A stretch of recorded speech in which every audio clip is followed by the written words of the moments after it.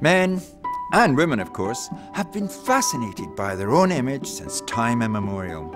So this is a real treat. We get to meet a master gilder, Mike Gleeson, and view some stunning mirrors, the old and the new. Of course, I love the genuine old ones, but I've heard that the handmade reproductions are pretty good quality.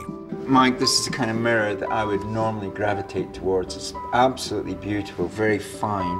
1720, 1735. Now, a lot of people wouldn't like this distressed look, but that's a genuine mirror, isn't it? That's right. In this case, it's your absolute guarantee of age.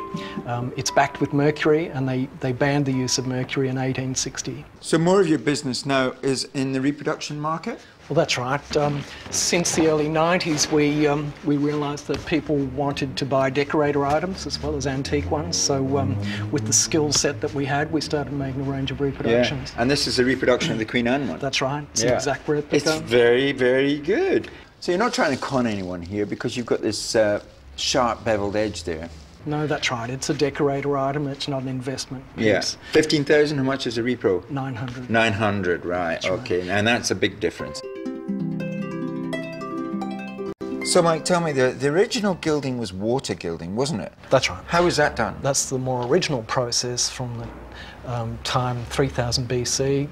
But this isn't that, is it? This is something slightly different. This is oil gilding, and this is a process that was um, devised in the early 1900s and um, was often used in conjunction with water gilding.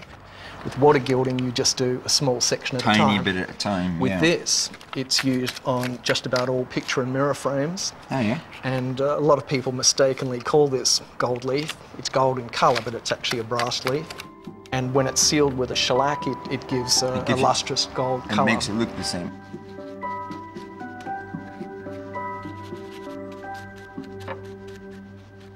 This was a technique, as with many other things, devised in the um, um, as a product of the Industrial Revolution, where they could make um, device processes which were less expensive. Of course, and, and, and could be used gilt for mirrors the for the masses. Yeah. Exactly. So this is the finished product then? It is. It's uh, been toned down. It's been gilded, sealed, and toned. We're not uh, passing it off as an antique, but we want it to look authentic. Sure, you're not trying and, to fool anyone. No, we're not. We're just no. sharing the love. So, mate, this is a traditional method. This is where you use real gold. That's right. This is water gilding. And what we're using here is 22 or 23 carat gold.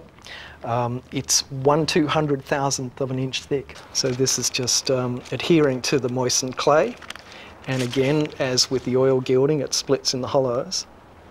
I can use an agate, which, which is a semi-precious stone, and that compacts the clay base under the gold. But I'm looking for a very special mirror, and I think I might have found it.